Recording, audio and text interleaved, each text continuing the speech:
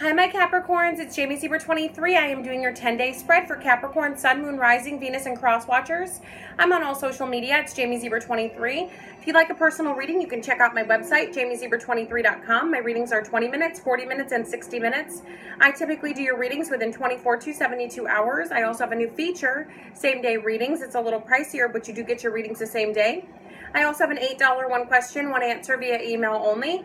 I typically answer you within about 20 minutes. Um, I've added tons of new stuff to the website, jamiezebra23.com. I've been out of stock candle wise, but the candles will be in stock starting next week. So this is your 10 day forecast for Capricorn, Sun, Moon, Rising, Venus, and Cross Watchers. I'm using the English Magic Tarot deck. Um, so these are the five cards that you got. You got the King of Coins in the reverse, which could very well be a queen.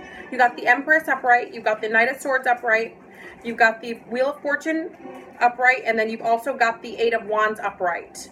So here's what we got going on for the next 10 days, Capricorn. We got the King of Coins in reverse. So this is a boss that's in the wrong. You've got a boss, you've got a, a supervisor, somebody who's overseeing everybody that's in the wrong. Um, I feel like some of you could be sexually harassed this week by someone.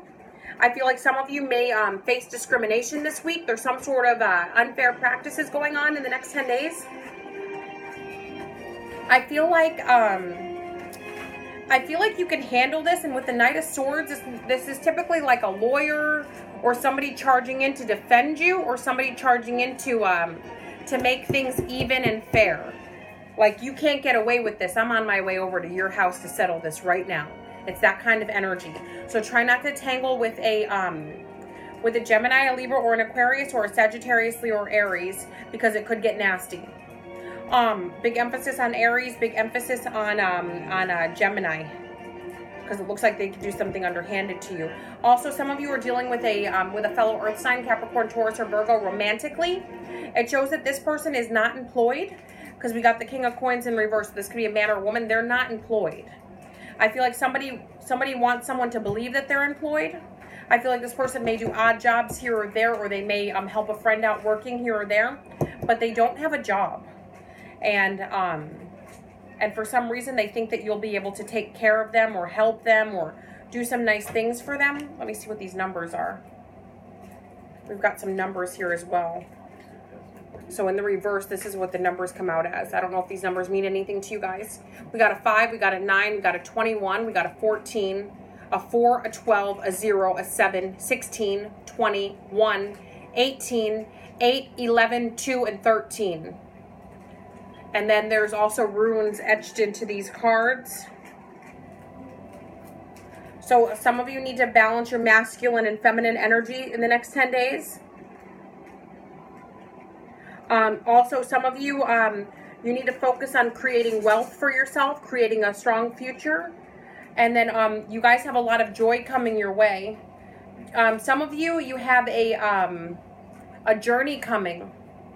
You're going on a trip soon. There's a trip that's coming, but because it's in reverse, it's all postponed. Those runes, because all those upright, there it's postponed.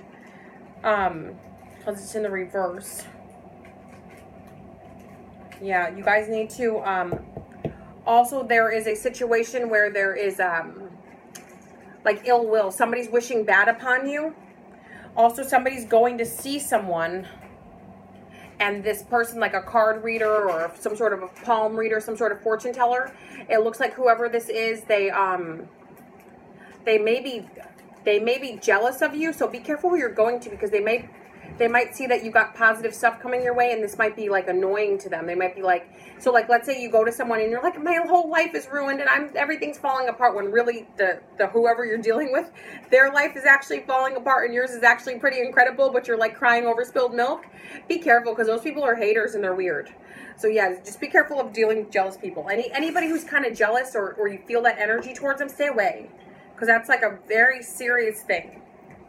Um yeah pretty weird. Also, especially if you're a fellow reader or a fellow spiritual person, be careful who you go to because people get jealous, like that's your competition, that sort of thing.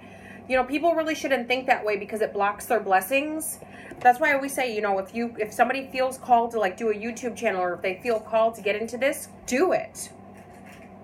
Like don't let anybody else tell you not to do it. So it looks like some of you have bought your own deck and you're able to decipher what's going on in your own life and you could possibly help others figure that out too.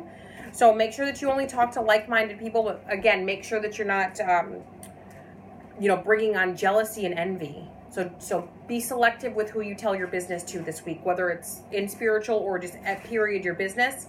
Just don't tell anybody too much unless it's like, unless they need to know. Also with the Eight of Wands, some of you are calling it quits. You're, you're like, F it with a fire sign, Sagittarius, Leo, or Aries. Some of you are going to ask somebody to terminate their parental rights. Some of you are going to, like, it's been a makeup, breakup, makeup, breakup, or this person's kind of been lingering in your life because you do, you are tied to children. But it looks like, um, it looks like whoever, this could be you or the other person, they're throwing the wands in the air like, you know what?